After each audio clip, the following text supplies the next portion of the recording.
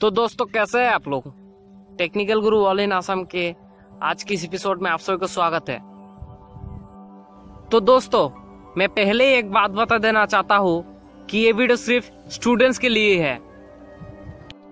तो दोस्तों, आज मैं लाया हूँ ऐसी एक वीडियो जो वीडियो देख के आप अपनी ज़िंदगी बदल सकती है। और मैं पूरा ये दावे के साथ कह सकता हूँ कि ये वीडियो आप लोगों की ज़िंदगी में कभी भी काम आ सकती है। तो आइए वीडियो शुरू करते हैं। दोस्तों कभी कभी ऐसा होता है कि हमारा पढ़ाई ज़िंदगी में रुकावट आ जाती है। रुकावट बहुत क्वालिटी की होती है, लेकिन आज हम बात करेंगे ये वीडियो में सिर्फ़ एक रुकावट के बारे में।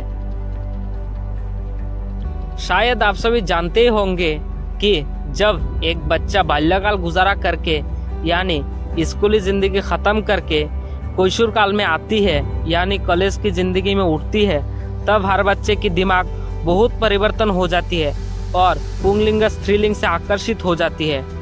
और वो समय हर बच्चे के लिए बहुत ही खतरनाक साबित होती है, जो बच्चा इस खतरनाक समय से छुटकारा पाती है। दोस्तों, ये जो समय है, वो आपके लिए बहुत ही भयानक है। ये समय हर लड़का लड़की को किसी से ना किसी से प्यार हो जाती है और बहुत ऐसा लड़का लड़की है, जो प्यार में धोखा खाती है। ये जो समय है, वो पढ़ाई करने का है। ये समय प्यार करने का नहीं है। ये समय में, इस समय में जितना हो सके आप अच्छे रास्ते पर चलिए और हर जगह से अच्छी ज्ञान हासिल करें। तो प्लीज़ दोस्तों अपने पढ़ाई की ज़िंदगी में कभी भी बुरा ख्याल मत लाइएगा। मेरा यकीन मानिए और आप अपने पढ़ाई पूरा ध्यान से कीजिएगा।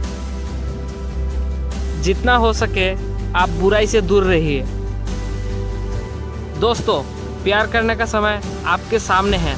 अगर आप प्यार करना चाहती है, जब आप बड़े हो जाओगे, आप अपने मुकाम में पहुँच जाओगे। जब आपके पास बहुत पैसा होंगे, बड़ा बंगला, गाड़ी और एक अच्छी नौकरी होंगे, तब आप प्यार कर सकती है। अगर आप इस समय चाहते हैं कि मैं इस लड़की से प्यार करना चाहती हूँ और इस लड़की से शादी भी करना चाहती हूँ, तब आप कर सकती है। और आप अगर एक लड़की है तो सेम ऐसा ही आप भी कर सकती है।